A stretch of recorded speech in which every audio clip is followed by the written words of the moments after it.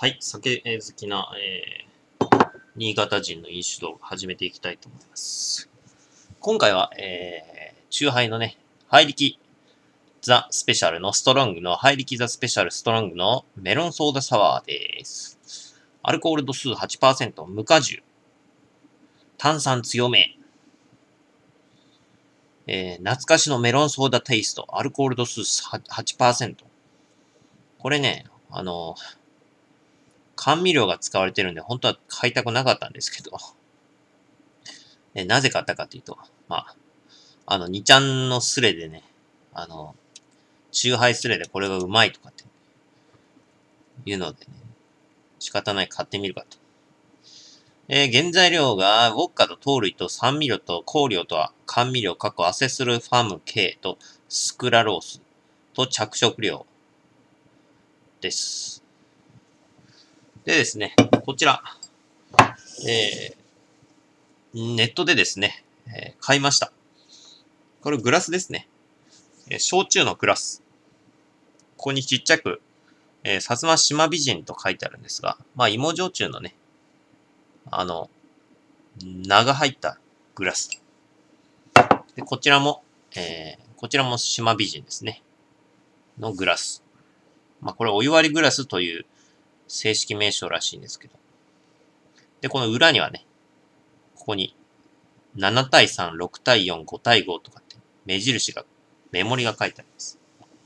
で、こちらも、えー、三竹ですね。三竹。芋焼酎のね、三竹。で、えー、屋久島と後ろに書いてあります。で、ちょっと微妙にね、大きさが違うんですよ。この三竹の方がちっちゃい。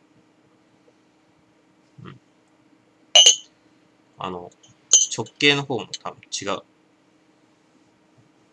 で、せっかくなんで、これで飲んでいきたいと思います。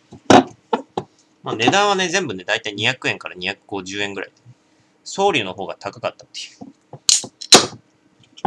う感じなんですが。それでは、おー。緑色。乾杯。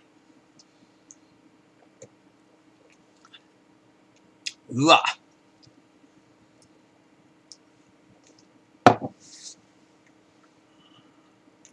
うわ、懐かしい。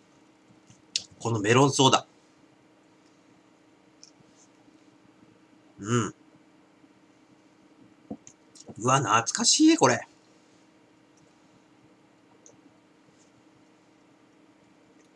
なんか、ものすごく懐かしい味がする、これ。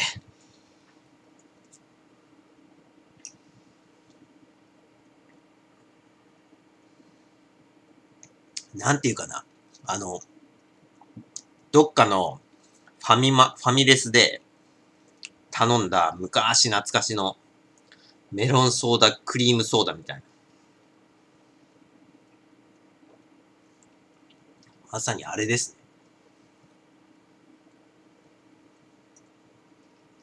ね。うん。それで持って、ちょっと、アルコールの、うん。味もし、そして異常に甘い。ものすごく甘い。うん。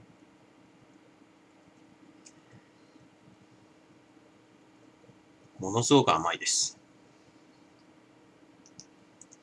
うん。さすがにこの甘味料が。まあでもこれ、あの、かきど、かき氷にね、あの、今の時期はあれですけど、かき氷に入れて、これを、あの、かけて食べたいですね。うん。懐かしい。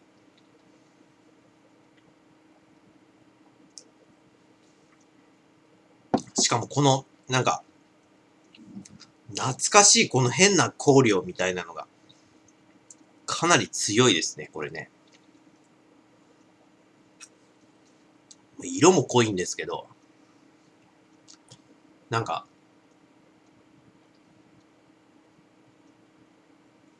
本当にあれだな。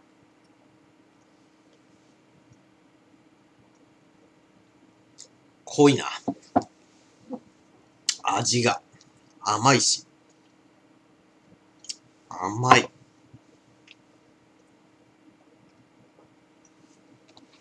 うん。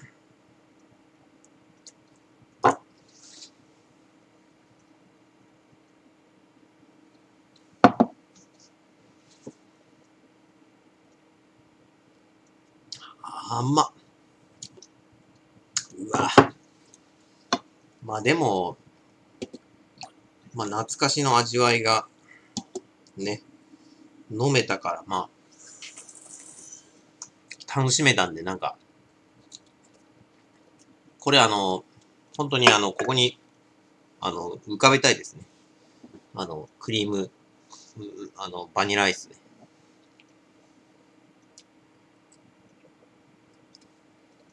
うわぁ、でもくそ甘いな。恐ろしく甘いな、これ。冗談抜きで甘い、しかも甘味料だから、ものすごく甘い。甘味料の甘みって、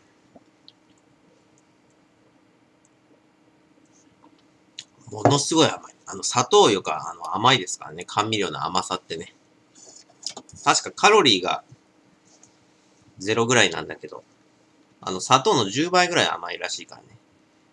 入りき。砂糖の10倍ぐらい甘いんですよ。甘さがね。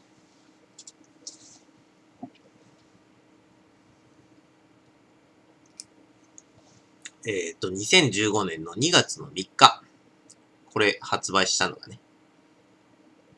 このメロンソーダサワー。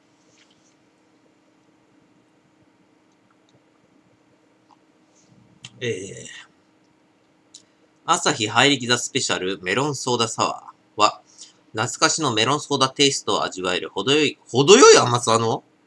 え？程よい甘さの缶チューハイです。だって。おいおい。アルコール度数8%でシャープな後味で飲み飽きしない。いや、もう飽きたな。もう、飽きた。もうどう見ても飽きた。飲み飽きしないしっかりとした飲み応えです。ちょっと矛盾しないか、これ。程よい甘さっていう時点でまず、おかしいんだけど、個人的にむっちゃくちゃ甘いです。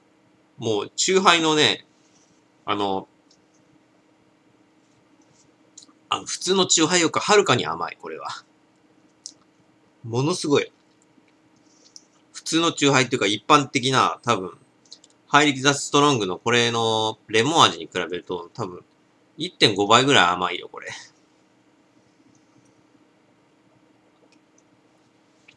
でね、もう飽きた。うん。正直これはもう飽きたわ。もうあと1年これ飲まなくていいわ。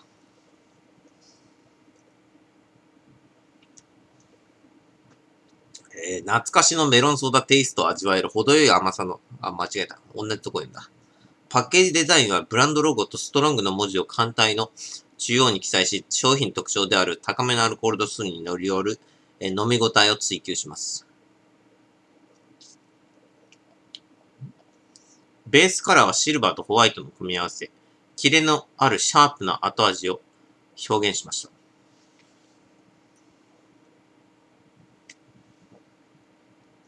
えー、ハイリキザスペシャルは高めのアルコール度数と力強い飲み応え、強めの炭酸、そして程よい甘さのフレーバーがターゲットである20代から30代の男性のヘビーユーザー層に支持され、現在好調に推移しております。まあ、力強い飲み応えはまあわからんでもない。強めの炭酸もまあわからんでもないとして、程よい甘さっていうのはおかしいだろ、これ。甘味料を使ってながら程よい甘さってどうよ。しかも2、30代の男性をターゲットにしてるの。に、この甘味料を使うっていう時点でちょっと俺は考えがたいね。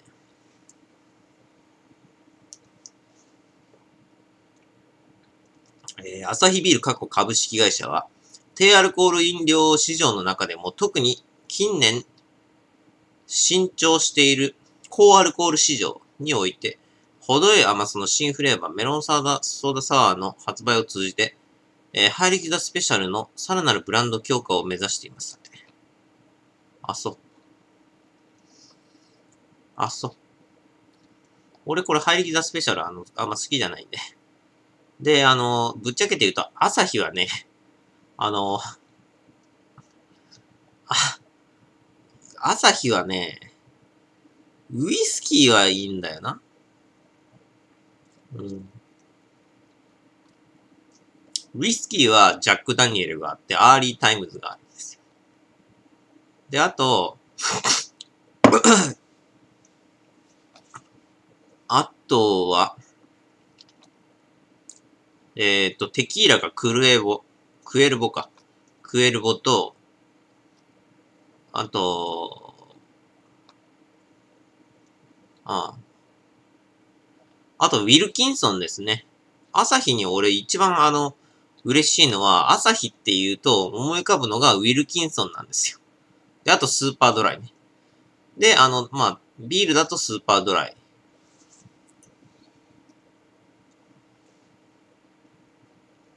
あと、え、なんだこれ？アサヒスーパードライエクストラシャープだって。え、なにこれ？こんなん売ってる？あれ？こんなん売ってたっけ？限定醸造。2015年の3月31日だって、新発売。エクストラシャープ。超辛口のスーパードライだって。ええー、あ、しかも生ビールだ。へえ。限定だって。約4月に発売。あと2ヶ月ぐらいあるな。お期待、期待しましょう。アルコール度数5%。あ、違う、5.5%。うーん。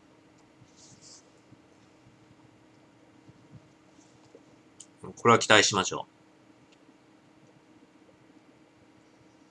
う。うーんと。あとなんか桜色の朝日のスーパードライが出るみたい。ですが、な、中身は全く同じなんで、まあこれどうでもいいでしょう。へえ。あ、またなんかある。え、ドライプレミアムの入りたてコクのプレミアム。赤いやつですね。赤いスーパードライみたいなやつ。えー、これが2月17日発売。あと、あさって発売ですね。ほうほう。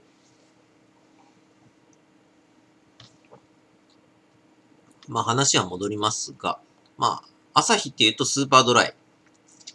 まあビールだと俺好きなのがスーパードライと、朝日の黒生。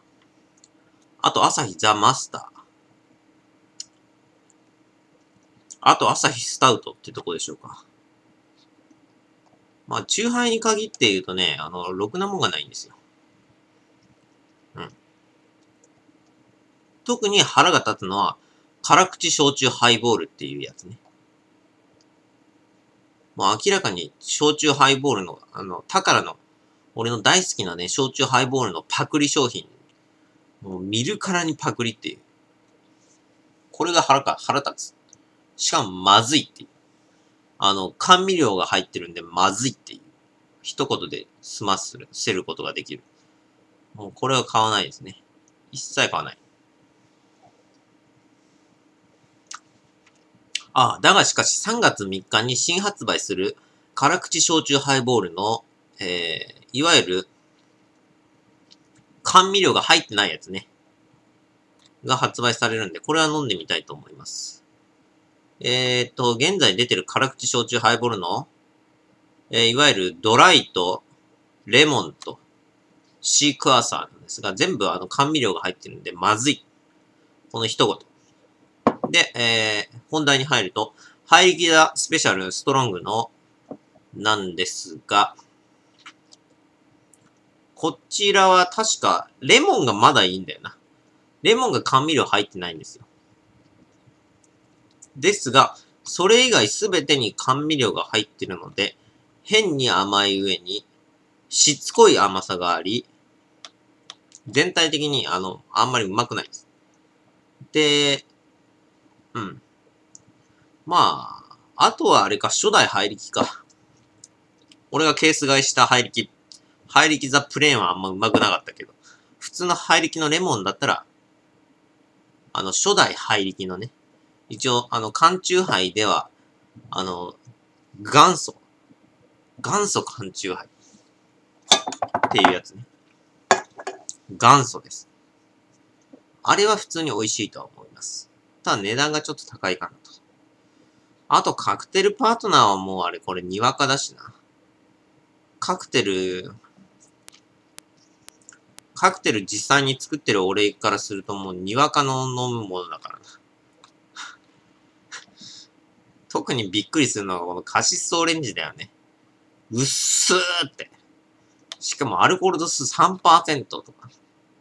これ女子、女子、あの、酒作ったことない、あのー、シェイカーとか持ってなくて、自分で作ったことなくて、っていう人間なんか、あの、にわかの、で、カクテルにちょっと憧れがある、あの、にわかの女子に向けです。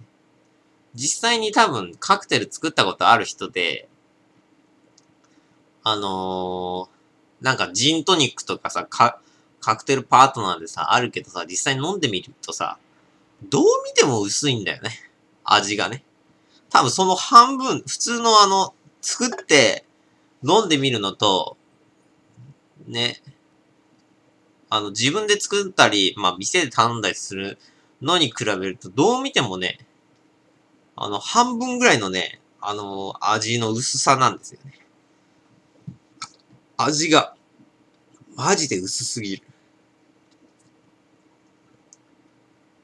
えーと、あとは、特にないか。あと、スラットとか、これもあれなのか。まあ、俺飲んだことないけどね。基本、アルコール度数3%以下は飲まないことにしてるんで。中杯で。